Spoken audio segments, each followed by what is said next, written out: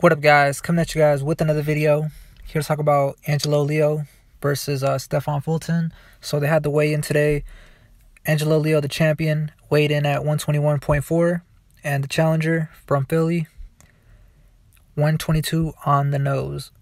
Uh, I'm excited that this fight is uh, happening because I was uh, really looking forward to it last last time, but unfor- unfortunately, Fulton caught Rona and he had to get pulled from the card.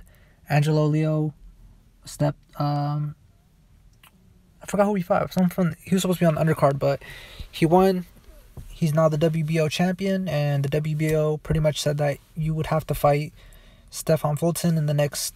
What they gave him what, what like ninety days or some shit, like one eighty days. Her terms would have to be met uh, within that time, and it's finally happening tomorrow. Mainstream. This is mainstream boxing, in my opinion. Uh, some people might be like, "It's not," because uh, these guys might not be known. But in my opinion, as far as skill wise, like this is what boxing fans are really uh, looking forward to, or at least I am. I think it's gonna be a great fight.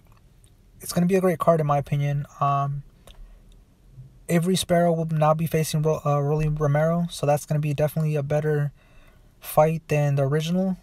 And then Victor Pasillas versus Alim. That's gonna be a good fight. And as far as this one, this this might steal the show. It might not, but I'm excited, man. 122.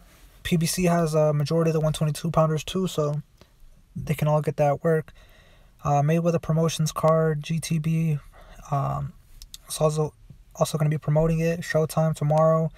Don't miss it. Um, definitely going to have full fight reviews tomorrow, so uh, stay tuned.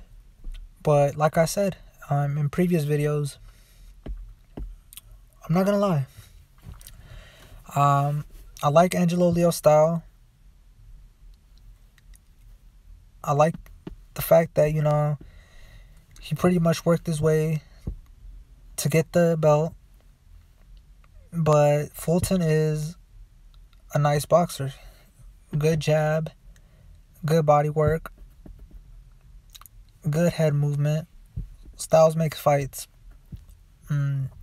I'm gonna be rooting for uh, Angelo Lee, Angelo Leo. I'm not gonna lie, but definitely Fulton. I know a lot of people are um, pretty much saying that Fulton's gonna win. This should be a dub for Fulton, but can't really count Angelo Leo out. That's all I got for now. Go ahead and comment on the video, like the video, subscribe. Like I said, I definitely will keep you guys updated tomorrow. Uh, just come back to the channel. Peace.